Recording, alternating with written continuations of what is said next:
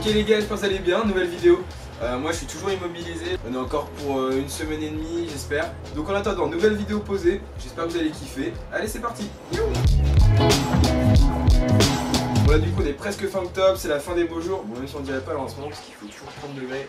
En attendant le froid arrive, je vous connais, il y en a qui vont ranger leur planche pour l'hiver et qui vont pas la sortir. Aujourd'hui dans cette vidéo je vais essayer de te montrer pourquoi il faut surfer en hiver. J'espère qu'à la fin de cette vidéo j'aurai réussi à te motiver. Alors déjà pour commencer, on range la petite combinaison, on sort la 5-4 ou la 4-3, ça dépend où t'habites. On sort les gants, les chaussons, la cagoule, ça dépend aussi comment t'es frileux. À partir de là, on sent plus rien, c'est nickel, mais bon, il faut ce qu'il faut. Alors déjà surfer en hiver, on applique un tas de contraintes avec le froid, etc. Faut vraiment être motivé, mais ça a aussi un tas de points positifs. Déjà pour commencer, en hiver il y a beaucoup moins de monde, en effet c'est plutôt logique, l'hiver il y a beaucoup moins de monde dans l'eau, donc soit pour débuter ou pas, t'es beaucoup plus tranquille dans l'eau, tu prends beaucoup plus de vagues, franchement il y a beaucoup moins de prise de tête, t'as beaucoup moins de chances de rentrer dans quelqu'un, t'as pas besoin de faire du slalom entre les personnes, franchement ta session elle peut être que meilleure, tu vas prendre beaucoup plus de vagues, donc pour progresser c'est top. Deuxième point positif, déjà tu vas aller dans une eau à 10 degrés pendant plusieurs heures, donc forcément tu vas développer ton système immunitaire, ça permet de t'aérer, de te défouler. Faut savoir que tu utilises beaucoup plus d'énergie dans l'eau euh, quand tu surfes en hiver. Donc euh, même quand tu sors de l'eau après une heure et demie de session, franchement tu as fait ton sport pour la journée, pour la semaine, après tu peux aller taffer, après tu te sens trop bien, franchement il a rien de mieux. alors troisième point positif, c'est les conditions. Donc en hiver franchement il y a vraiment peu de chances que tu te tapes un flat. Il y aura toujours de la mousse, de quoi glisser, surtout quand tu débutes. Faut juste éviter si tu débutes d'aller sur des spots où il n'y a personne. Généralement l'hiver, les vagues, les courants, tout est plus puissant. L'eau elle est froide, tu fatigues beaucoup plus vite. Donc euh, évitez les spots où il n'y a personne, les spots que tu connais pas.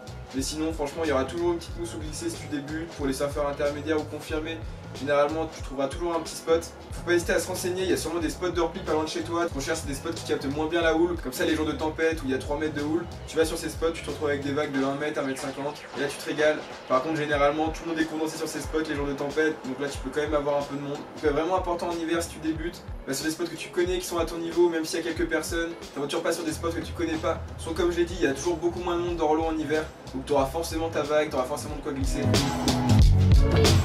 Quatrième point qui rejoint un peu tout, surfer en hiver, c'est vraiment pas simple. Entre le froid, les courants, les vagues, tout est plus puissant.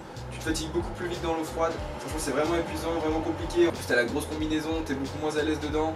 Donc franchement c'est vraiment pas simple, tu vas ramer, tu vas galérer dans le courant, des fois même si tu n'arrives pas à prendre de vagues, tu n'en prends que 2-3, franchement tu vas voir tu vas quand même progresser, que ce soit au niveau de ta rame, de ton aisance, de ta lecture de vagues aussi, lecture de la mer, des courants, etc.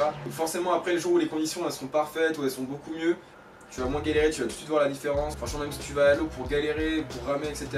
Tu vas voir après tu vas progresser de ouf. La rame c'est vraiment hyper important. Dans le sens il n'y a pas que le fait de se mettre debout sur sa planche, il y a tout ce qui est autour, la lecture de vagues, etc. qui est vraiment importante. Le seul moyen d'apprendre c'est en regardant l'océan, en bouffant et en galérant dans le courant. Et donc le 5 et dernier point positif, même si je pense que tu peux en trouver d'autres, c'est quand la belle saison va arriver à partir d'avril, tu vas commencer à avoir des belles houles bien longues, bien propres. Toi tu te seras cramé pendant tout l'hiver, tu auras galéré dans le courant, dans les vagues, etc. Donc quand tu vas te mettre à l'eau, tu vas être beaucoup plus à l'aise, tu vas le sentir direct, tu seras bien chaud, bien en forme pour la saison. Contrairement à ceux qui n'ont pas surfé de l'hiver, qui seront tout rouillés, qui redécouvriront leur planche, toi franchement tu seras au top. De toute façon dans le surf, si tu veux vraiment progresser rapidement, et même si tu, juste tu veux progresser, il n'y a pas vraiment de secret, ce qu'il faut c'est aller dans l'eau, surfer, réessayer, réessayer, ramer, etc. C'est vraiment, tu peux pas ne pas passer par là. Ok, donc j'espère que ces 5 conseils t'auront donné envie d'aller à l'eau cet hiver. Regarde quand même les prévisions avant. Si tu sais pas comment faire, je t'invite à aller voir ma vidéo sur comment lire les prévisions de surf. J'espère que t'as kiffé cette petite vidéo. Je te laisse sur quelques images de surf que j'ai eu cet hiver pour te donner envie. J'espère que t'auras kiffé. Je te retrouve dimanche pour une nouvelle vidéo. Allez, ciao You